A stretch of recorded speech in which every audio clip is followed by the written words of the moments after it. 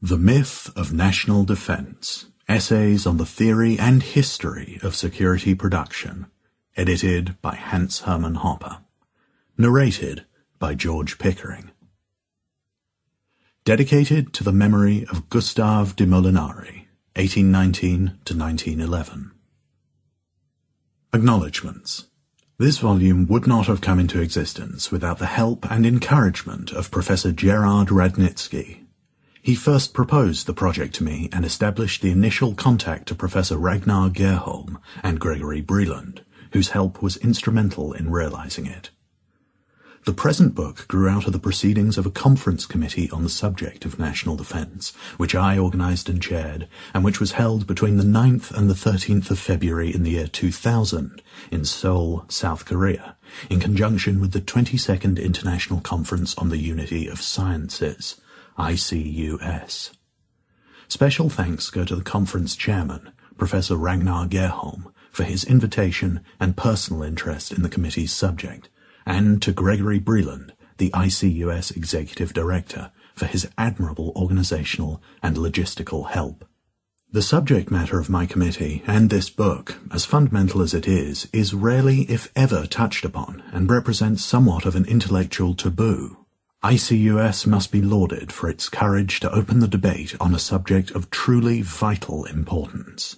Thanks go also to Christian Comanescu, David Gordon, Stephan Kinsella, and Joseph Siemer for their assistance during various phases in preparing the current volume, and to Llewellyn H. Rockwell Jr. and the Ludwig von Mises Institute for publishing it. Last and most importantly, I thank all contributors to this volume for their cooperation. Hans Hermann Hoppe, Las Vegas, Nevada, January 2003.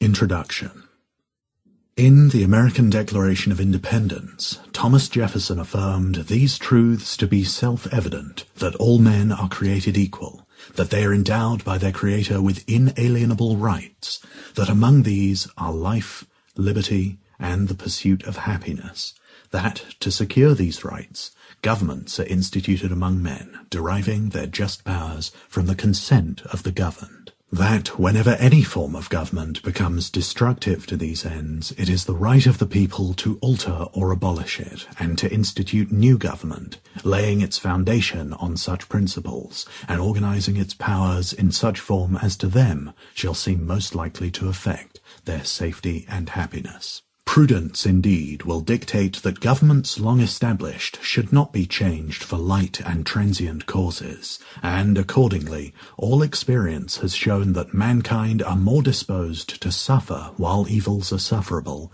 than to right themselves by abolishing the forms to which they are accustomed. But when a long train of abuses and usurpations, pursuing invariably the same object, evinces a design to reduce them under absolute despotism, it is in their right, it is in their duty to throw off such government, and to provide new guards for their future security. More than 200 years after the Declaration of Independence, it seems appropriate to raise the question whether governments have in fact done what they were designed to do, or if experience or theory has provided us with grounds to consider other, possibly more effective guards for our future security. The present volume aims to provide an answer to this fundamental question. In fact, the question has recently assumed new urgency through the events of September the 11th, 2001. Governments are supposed to protect us from terrorism. Yet what has been the US government's role in the terrorist attacks on the World Trade Center and the Pentagon? The US government commands a defense budget of $400 billion per annum, a sum equal to the combined annual defense budgets of the next 24 biggest government spenders. It employs a worldwide network of spies and informants. However, it was unable to prevent commercial airliners from being hijacked and used as missiles against prominent civilian and military targets. Worse, the US government did not only fail to prevent the disaster of September the 11th, it actually contributed to the likelihood of such an event. In pursuing an interventionist foreign policy, taking the form of economic sanctions, troops stationed in more than 100 countries, relentless bombings, propping up despotic regimes, taking sides in irresolvable land and ethnic disputes, and otherwise attempting political and military management of whole areas of the globe, the government provided the very motivation for foreign terrorists and made the US their prime target. Moreover, how was it possible that men armed with no more than box cutters could inflict the terrible damage they did? Obviously, this was possible only because the government prohibited airlines and pilots from protecting their own property by force of arms, thus rendering every commercial airline vulnerable and unprotected against hijackers. A $50 pistol in the cockpit could have done what $400 billion in the hands of the government were unable to do. And what was the lesson drawn from such failures? In the aftermath of the events, the US foreign policy became even more aggressively interventionist and threatening. The US military overthrew the Afghani government that was said to be harboring the terrorist mastermind Osama bin Laden. In the course of this, thousands of innocent civilians were killed as collateral damage, but bin Laden has not been captured or punished to this day, almost two years after the attacks. And once a US approved government had been installed in Afghanistan, the US government turned its attention to wars against other enemy states, in particular Iraq with its huge oil reserves. The US refused even to rule out the employment of nuclear weapons against enemy regimes. No doubt this policy helped to further increase the number of recruits into the ranks of people willing to use extreme violence against the US as a means of retribution. At the same time, domestically the government used the crisis which it had helped to provoke to further increase its own power at the expense of the people's liberty and property rights. Government spending, in particular on defence, was vastly increased, and a new government department for Homeland Security was created. Airport security was taken over by the federal government and government bureaucrats, and decisive steps towards complete electronic citizen surveillance were taken. Truly then, the current events cry out for a systematic rethinking of the issues of defence and security and the respective roles of government, the market, and society in providing them. Two of the most widely accepted propositions among political economists and political philosophers are the following. First, every monopoly is bad from the viewpoint of consumers. Monopoly here is understood in its classical sense as an exclusive privilege granted to a single producer of a commodity or service, i.e. as the absence of free entry into a particular line of production.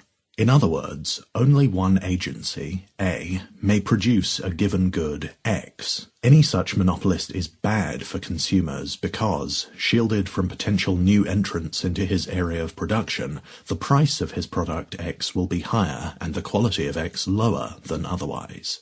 Second, the production of security must be undertaken by, and is the primary function of, government.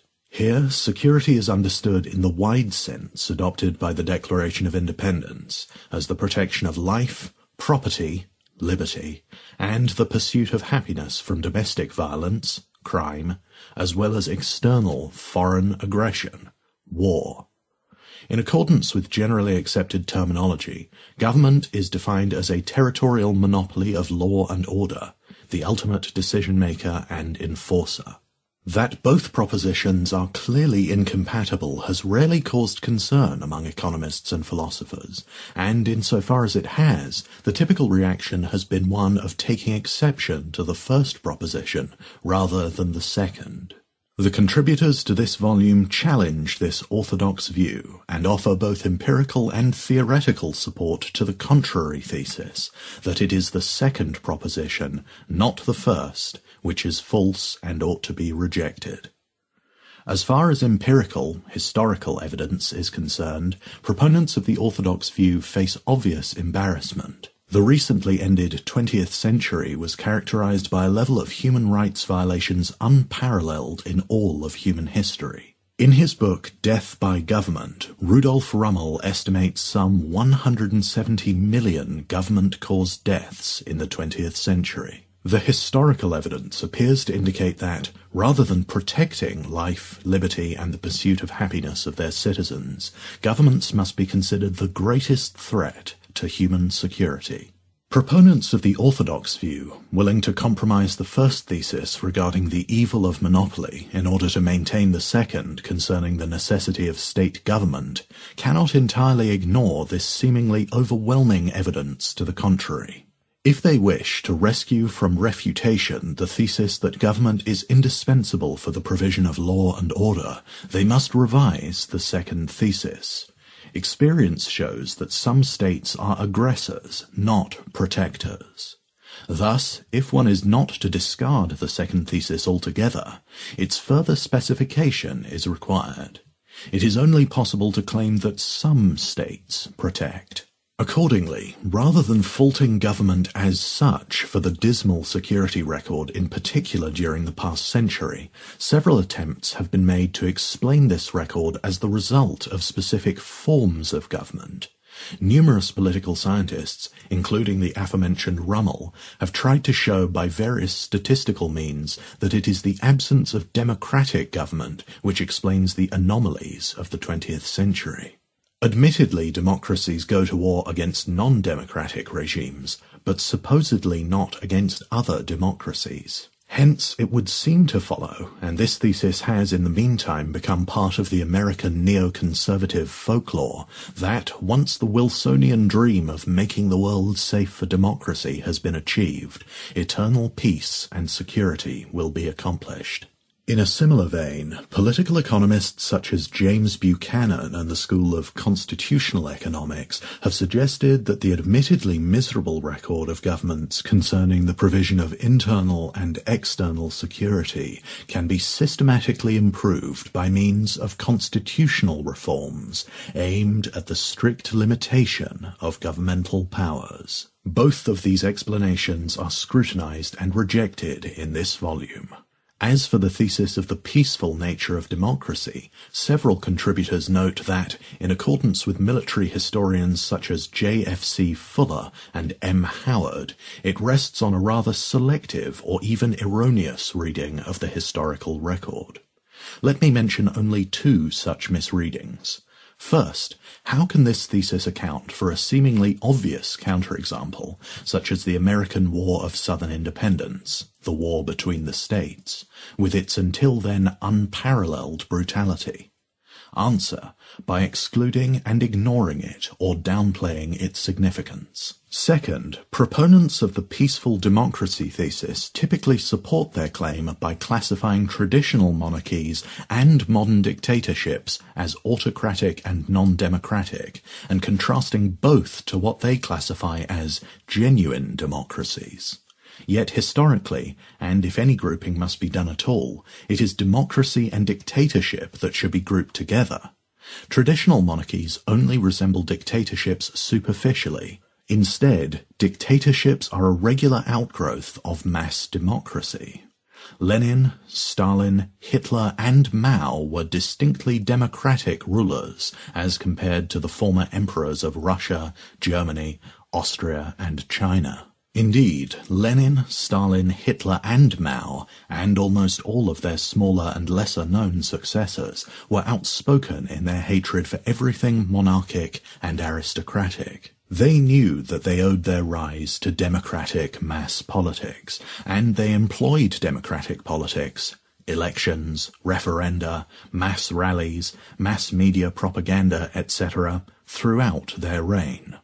On the other hand, as for the proposal of constitutional reforms aimed at limiting state power, several contributors to this volume explain that any such attempts must be considered futile and ineffective, if and insofar as the interpretation and the enforcement of such limitations is left to government itself, or to one of its organs, such as a governmental Supreme Court. See more on this below. More convincing to the contributors of this volume appears a third thesis advanced by the economist Ludwig von Mises, which may be considered a combination of the above. Mises asserts that, in order to fulfill its primary function as a provider of security, a government must satisfy two conditions.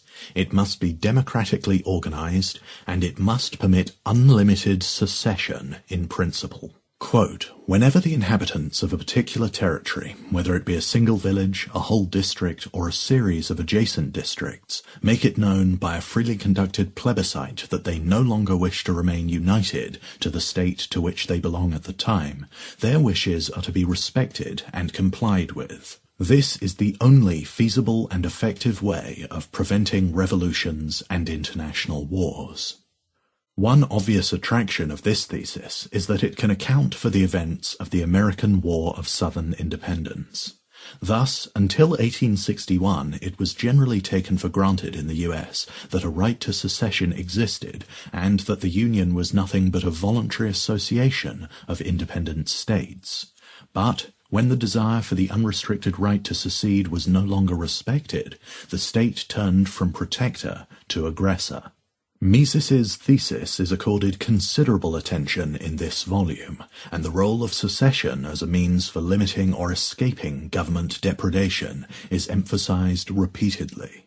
However, in requiring a protective state to allow unlimited secession from its jurisdiction, Mises's explanation essentially renders the state a voluntary membership organization with taxes amounting to voluntarily paid or withheld membership dues.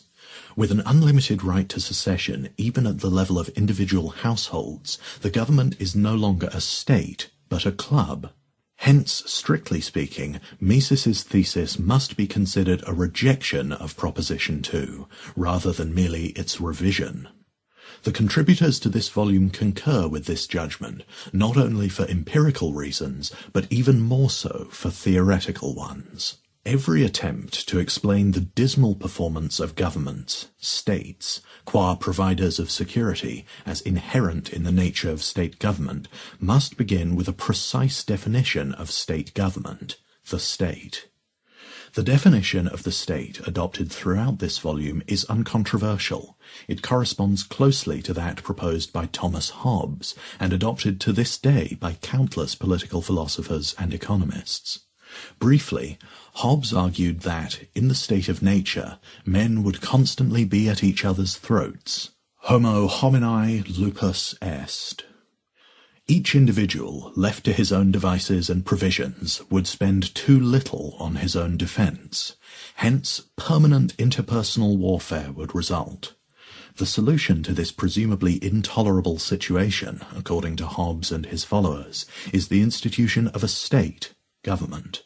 In order to institute peaceful cooperation, security, among themselves, two individuals, A and B, require a third independent party, S, as ultimate judge and peacemaker. However, this third party, S, is not just another individual, and the good provided by S, that of security, is not just another private good. Rather, S is a sovereign and has as such two unique powers. On the one hand, S can insist that his subjects A and B not seek protection from anyone but him. That is, S is a compulsory territorial monopolist of protection and ultimate decision-making, jurisdiction. On the other hand, S can determine unilaterally, without unanimous consent, how much A and B must spend on their own security. That is, S has the power to impose taxes in order to provide security collectively. Based on this definition of government as a compulsory territorial monopolist of protection and jurisdiction, equipped with the power to tax without unanimous consent, the contributors to this volume argue that, regardless of whether such a government is a monarchy, a democracy, or a dictatorship, any notion of limiting its power and safeguarding individual life, liberty, and property must be deemed illusory. Under monopolistic auspices, the price of justice and protection must rise, and its quality must fall. A tax-funded protection agency, it is pointed out, is a contradiction in terms. It is an expropriating property protector and can only lead to ever more taxes and less protection. In fact, even if a state limited its activities exclusively to the protection of life, liberty, and property, as a protective state a la Jefferson would do, the further question of how much security to provide would arise. Motivated, like everyone else, by self-interest and the disutility of labour, but with the unique power to tax without consent, a government's answer will always be the same, to maximize expenditures on protection, and almost all of a nation's wealth can be consumed by the costs of protection, and at the same time to minimize the production of protection. Furthermore, a monopoly of jurisdiction must lead to a deterioration in the quality of justice and protection. If one can appeal only to the state for justice and protection, justice and protection will be distorted in favor of government, constitutions and supreme courts notwithstanding.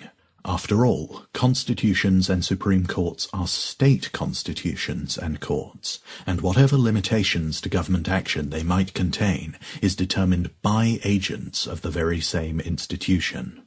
Accordingly, the definitions of life, liberty, and property and their protection will continually be altered and the range of jurisdiction expanded to the state's advantage. The first person to provide a systematic explanation of the apparent failure of governments as security producers along the above sketched lines was Gustave de Molinari, 1818 to 1912, a prominent Belgian-born French economist, student of Jean-Baptiste Say, and teacher of Vilfredo Pareto, and for several decades the editor of the Journal des Economistes, the professional journal of the French Economic Association. De Molinari's central argument was laid out in his article The Production of Security of February 1849. The argument is worth quoting because of its theoretical rigor and its seemingly visionary foresight. Quote, if there is one well-established truth in political economy, it is this that in all cases, for all commodities that serve to provide for the tangible or intangible needs of consumers, it is in the consumer's best interest that labor and trade remain free, because the freedom of labor and trade have as their necessary and permanent result the maximum reduction of price. And this, that the interests of the consumer of any commodity whatsoever should always prevail over the interests of the producer. Now, in pursuing these principles, one arrives at this rigorous conclusion that the production of security should, in the interests of the consumers of this intangible commodity, remain subject to the law of free competition. Whence it follows that no government should have the right to prevent another government from going into competition with it, or require consumers of security to come exclusively to it for this commodity. Either this is logically true, or else the principles on which economic science is based are invalid. De Molinari then predicted what would happen if the production of security is monopolized. Quote, if, on the contrary, the consumer is not free to buy security wherever he pleases, you forthwith see open up a large profession dedicated to arbitrariness and bad management.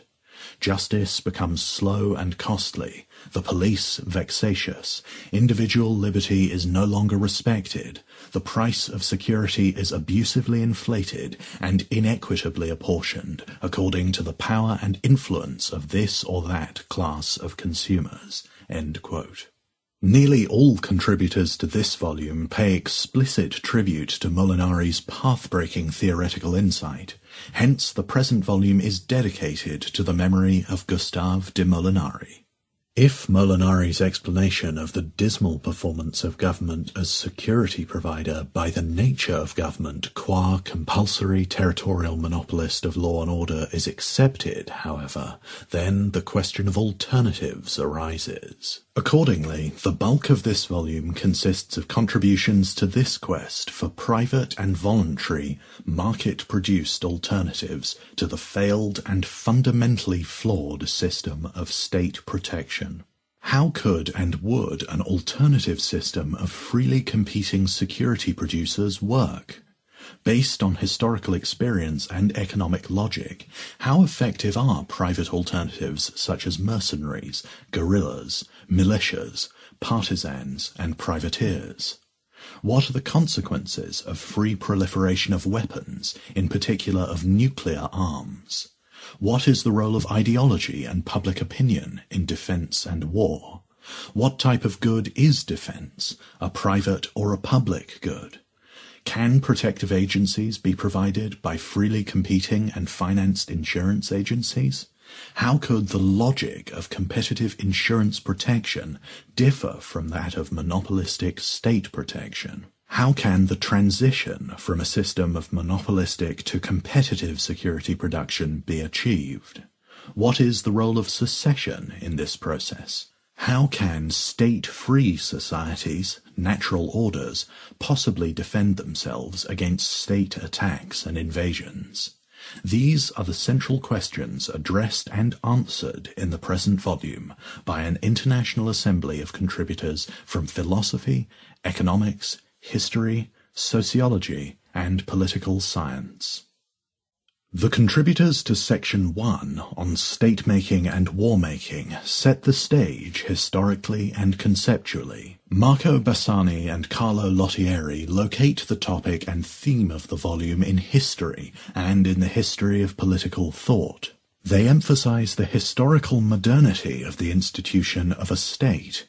States have not always existed and direct particular attention to medieval feudal Europe as an example of a society without state from which valuable insights regarding the present and its possible paths of transformation can be gained. They explain the ideological revolution associated with such names as Machiavelli, Bodin, Hobbes, and Rousseau that supported and led up to the rise of the state. They review the rise of a liberal libertarian ideological opposition to statism, associated in particular with the names of Molinari in the 19th century and Rothbard in the 20th. They note the importance of European realism, i.e. the elitist social theorists such as G. Mosca, V. Pareto, and R. Michels in Italy, and Carl Schmitt in Germany, for a correct understanding of the non-neutral nature of the state and sovereignty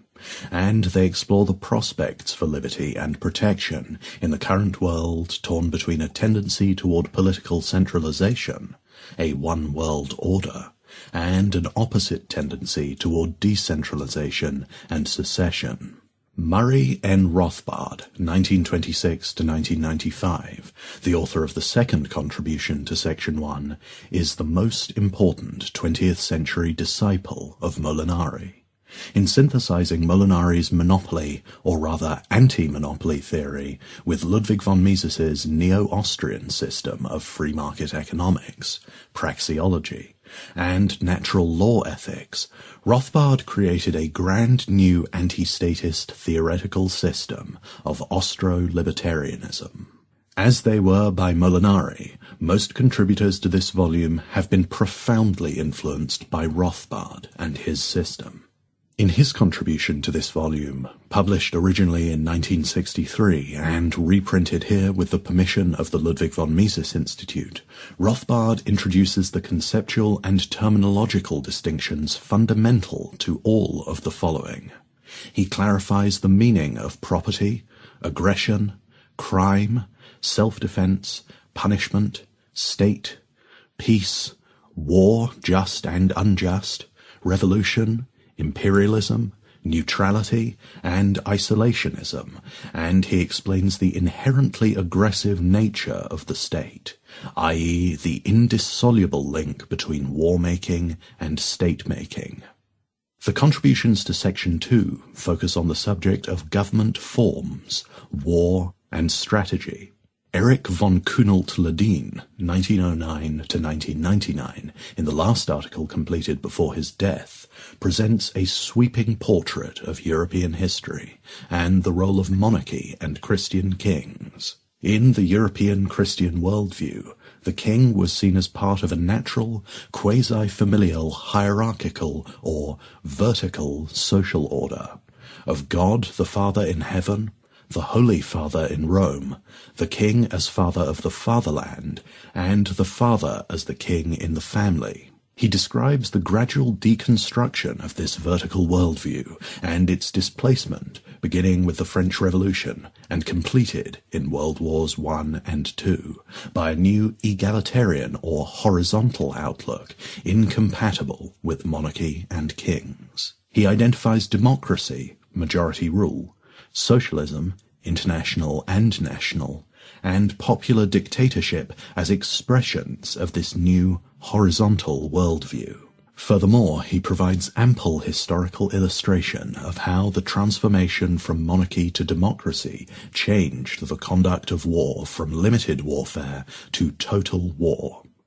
Gerard Radnitzky, in his wide-ranging essay, bolsters Kuehnelt-Leddihn's case against democracy. Following Anthony de Jasay, Radnitzky begins with a detailed analysis of the economics and politics of majoritarian democracy and refutes as illusory and impossible the claims of constitutional economists such as James Buchanan. A discussion of the thesis, Democracies are more peaceful, occupies the center of his chapter. Based on analytical considerations and detailed historical evidence, Radnitzky rejects the thesis. Further, he identifies the thesis that democracies do not make war with each other as a cornerstone of the New World Order crowd and US imperialism and hegemony. He concludes with a few game theoretical considerations regarding the possibility of private defense coalitions and some remarks on the likelihood of the decline and demise of the state.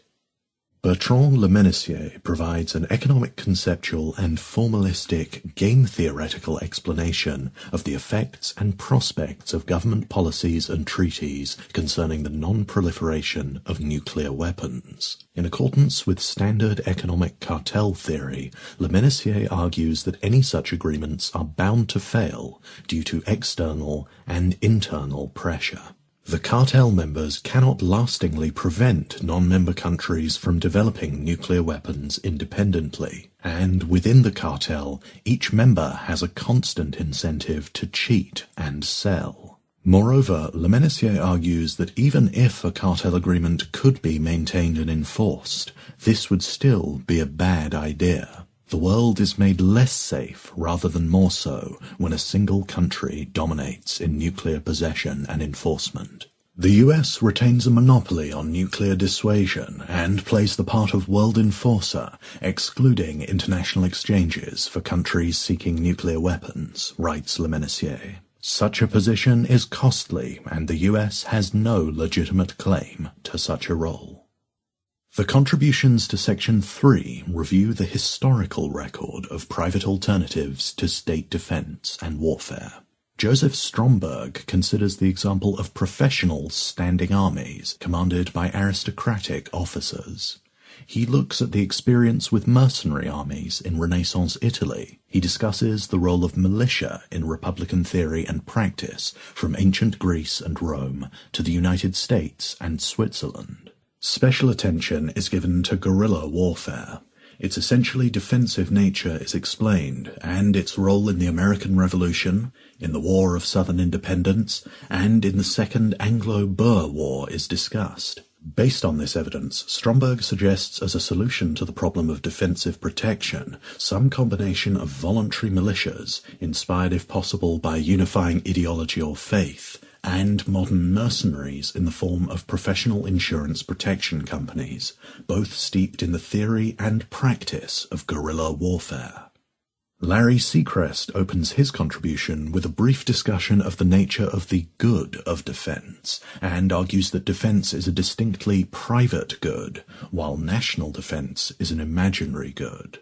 He then applies these theoretical considerations to the subject of naval warfare. In particular, he provides a detailed survey of privateering as a form of naval warfare conducted by privately owned ships from the 12th to the 19th centuries. Sechrest explains how privateers operated, the legal customs that grew up around them, and how remarkably effective and profitable they were. Finally, as to why the practice of privateering declined after the 19th century, Sechrest argues that this had no technological reasons. To the contrary, privateering died out because it was too effective and threatened the jobs of the regular state navies. Jeffrey Rogers Hummel begins with a discussion of the anthropological preconditions of state formation and the reasons for the historical triumph of states over stateless societies.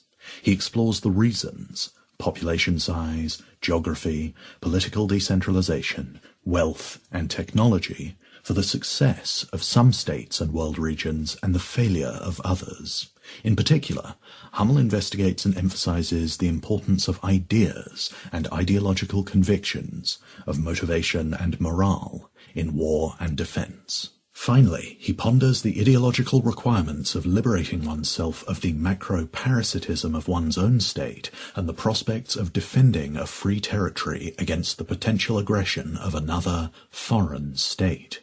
Hummel expresses considerable optimism regarding the effectiveness of such a defense, because free societies will be wealthier and technologically more advanced than statist societies, but cautions that the maintenance of a free society, rather than a regression to statism, requires eternal ideological vigilance on the part of the public. The final section, section 4, is dedicated to the theory of private security production and its various practical applications. In his contribution, Walter Block argues that to claim that a tax collecting government can legitimately protect its citizens against aggression is to contradict oneself, since such an entity starts off the entire process by doing the very opposite of protecting those under its control. In support of this claim, Block reviews analyzes and refutes the entire panoply of statist arguments, the prisoner's dilemma, the free rider, the externality, and the public goods thesis in favor of national defense. Defense, Block explains, is the defense of private property and as private as private property. Last, he discusses the thesis, popular especially in public choice and constitutional economics circles, that states are forms of clubs and clubs forms of states, and he concurs with Joseph Schumpeter's verdict that this thesis only proves how far removed this part of the social sciences is from scientific habits of mind. In my own contribution to this volume, I open with a reconstruction of the Hobbesian myth of collective security and its empirical and logical refutation. I then proceed to a detailed analysis of risk, property, and insurance. I comment on the arbitrariness of national borders and hence of national defense, in contrast to the natural borders of private property and the defense of such borders. I provide a comparative analysis of insurance protection versus state protection and contrast the logic of state warfare to that of freely financed protection agencies. Finally, I point out that insurance agencies, in contrast to states, will not disarm those they protect, and I address the question of how a free and armed society, in conjunction with professional protection insurance agencies, would likely go about defending itself against state aggression. Guido Hülsmann, in the final contribution to this volume, deals with secession as a means of establishing private property order and assuring effective protection. He discusses the nature of secession and its comparative advantages as compared to other forms of political reform. After examining the conditions that must be met for secession to be successful, Hülsmann turns to a key problem of secessionist movements, defense against the government from which they are seceding. He argues that secessionist defense organizations must themselves be run on the basis of private property principles to ensure that the political goal of libertarian secession can be reached and that its military effectiveness be as high as possible. Though the implications of the arguments made in this volume are radical and sweeping, the principles are quite simple at root. In economics, the contributors seek the consistent application of market theory, not its arbitrary exclusion from whole areas of life, such that it applies also to the delivery of goods and services associated with security and defense. In politics, the contributors seek only the application of the principle Jefferson presented in his Declaration of Independence, that people have the right and duty to throw off governments that are not affecting their safety and find alternatives that provide guards for future security. In both respects, these ideas represent a relatively unexplored application of traditional liberal theory. And yet, given the continued rise of the national security state in our own time, the future of liberty itself may hinge on our willingness to push these principles to their fullest extent. Hans Hermann Hoppe